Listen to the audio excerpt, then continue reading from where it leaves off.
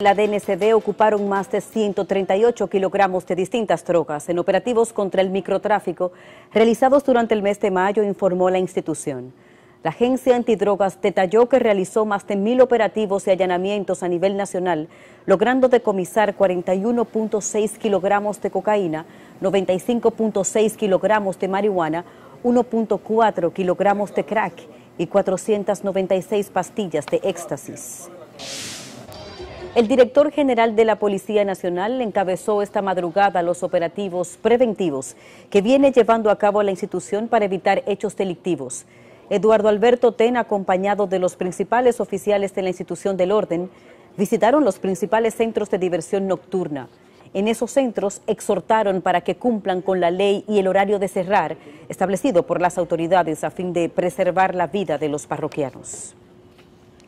Un chofer de la plataforma de taxis InDriver fue asesinado por desconocidos para supuestamente atracarlo en el ensanche Espaillat. Los testigos afirmaron que el homicidio se registró en horas de la noche de este sábado. Hasta el momento no se tienen mayores detalles en torno a lo sucedido.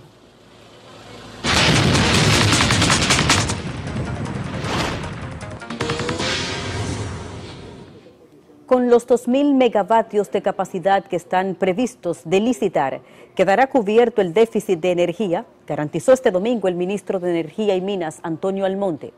Recordó que 800 de esos megavatios corresponden a las dos plantas que fueron adjudicadas en Manzanillo, Montecristi.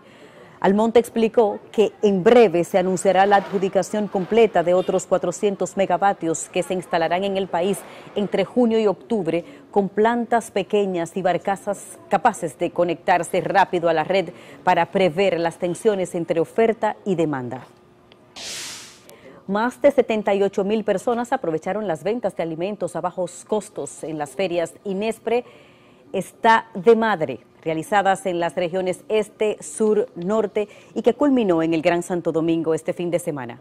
Iván Hernández Guzmán, director de Inespre, expresó que en la feria de la región este asistieron más de 10 mil personas, en la región sur 15 mil, en el norte 18 mil y en el Gran Santo Domingo 25 mil personas.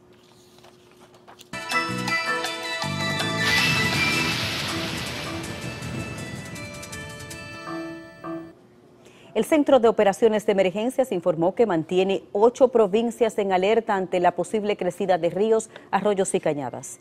La alerta está motivada por la posible ocurrencia de chubascos controladas por el arrastre de la humedad de los vientos del este. Las provincias en alerta amarilla son La Vega y Santiago, mientras que en verde figuran Atomayor, Santiago Rodríguez, San José de Ocoa, Monte Plata, Monseñor Noel y Sánchez Ramírez.